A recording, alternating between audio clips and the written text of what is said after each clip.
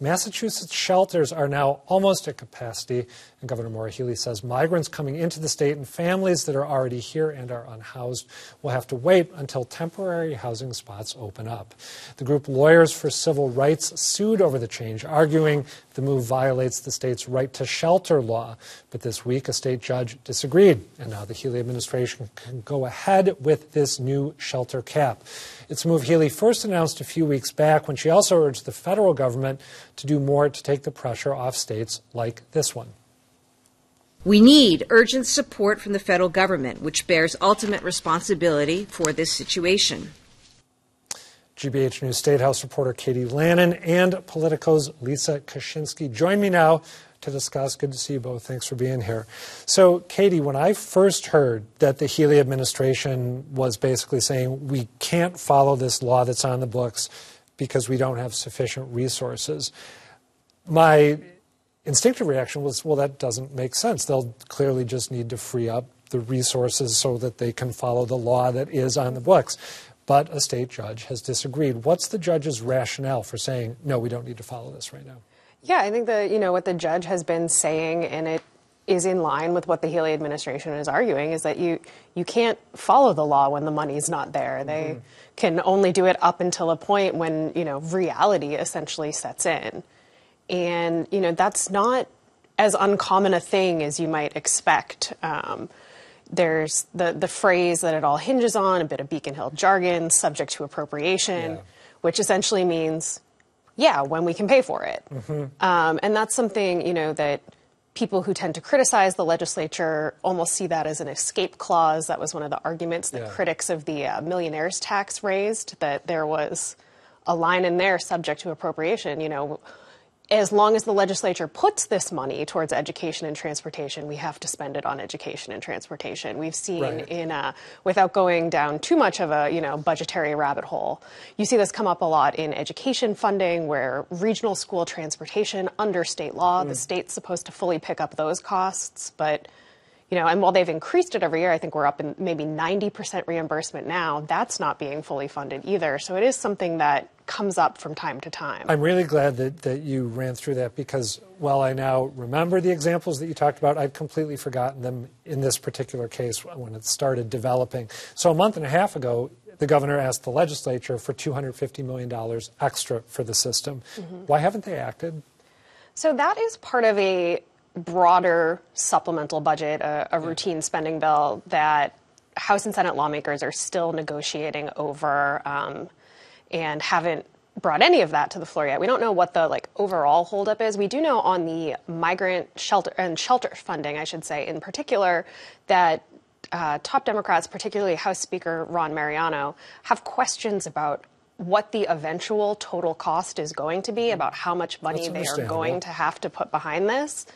And he, he's really, it seems like, still looking for some more information from the administration before uh, granting that request in full or in part. Lisa Kashinsky, as of, I believe, right now, as we talk, the state has not quite hit that 7,500 family mark. We're very close. Maybe we'll hit it over the weekend.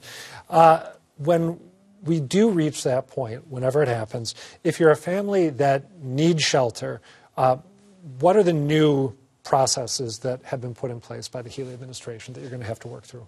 So there's kind of two parts to this. One is when the shelter system, which was hovering around 7,400 families, gets to 7,500 families, there's a wait list that goes into effect, which basically the state is going to hand families a flyer that says, we can't shelter you tonight. That's actually what the flyer that, that we've seen says. I saw it when I linked, or because you linked to it in the Politico newsletter. Yep. Yeah, thank you. And uh, so there are three options in that flyer, which is basically return to the last safe place that you stayed, apply for a program where the state will help you pay rent but will not help you find an apartment, mm-hmm. or apply for other services um, like food stamps.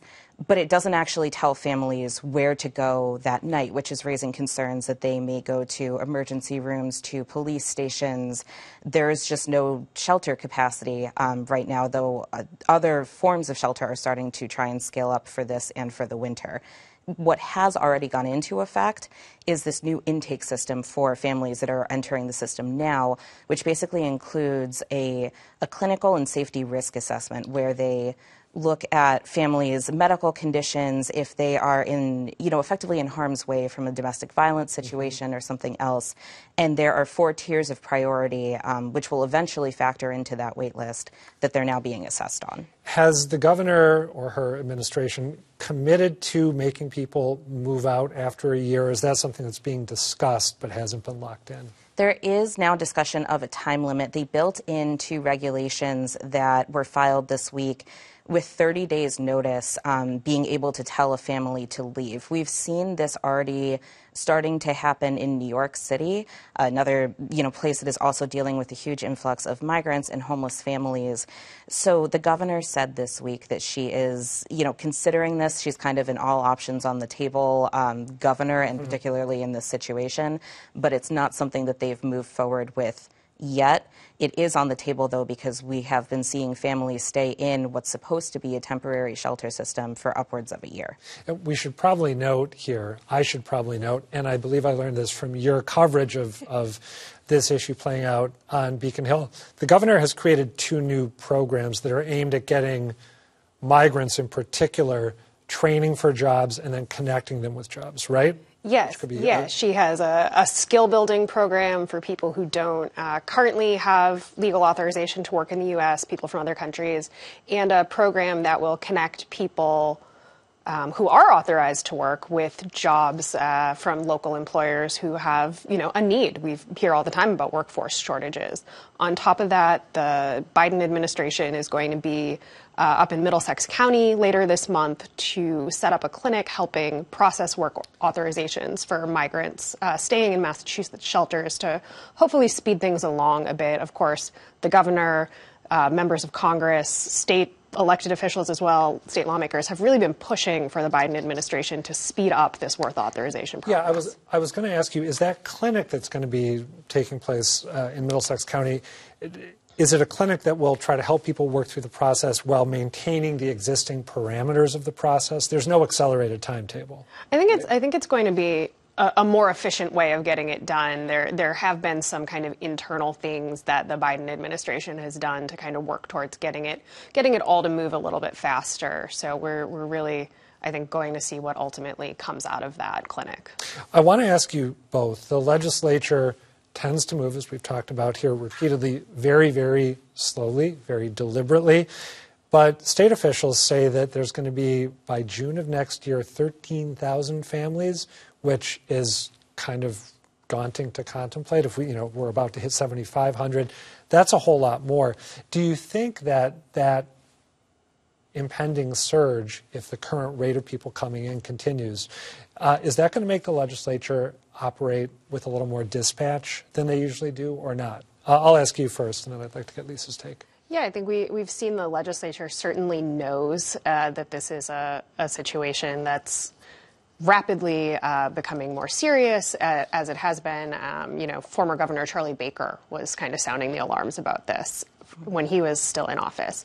And one thing we've seen interestingly this week from House Speaker Mariano is that he, he put out a statement saying basically, like, we don't intend to change the right to shelter law.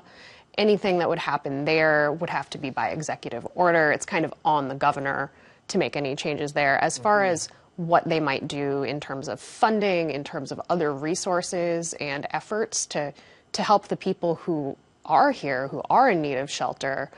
I, I don't know what we're going to end up seeing. I think one thing, before you answer, I remember reading, and I think it was in your newsletter, although it might have been a piece that Katie wrote, Aaron Michlewitz, the House Ways and Means Chair, talking about the uncertainty around this that is sort of preceding any legislative action. One of the things he mentioned at the time was the court case, which has now been resolved.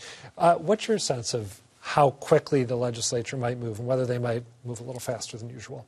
So uh, the House Ways and Means chair did say, um, you know, as these things start to resolve, the court case, I talked to him just before uh, that uh, decision came down, that we could expect to see something soon, but that would again only be on some version of that $250 million request that Katie had mentioned before. Mm-hmm. And that really is just kind of there as, as to kind of prop up the system. That's not going to help in the longer term. And right now, the 325 million that the state had budgeted to last through the end of the next, you know, the end of the fiscal year in next June, that's projected to run out in large form in January. So that 250 million isn't going to float them till the end of the year either. So there's a much there's the short-term question of funding, which I do believe could potentially move. I'm not going to say it will Yeah. before formal sessions end for the year on November 15th, but there's a much longer-term question when they come back in January that remains to be seen how they're going to address it.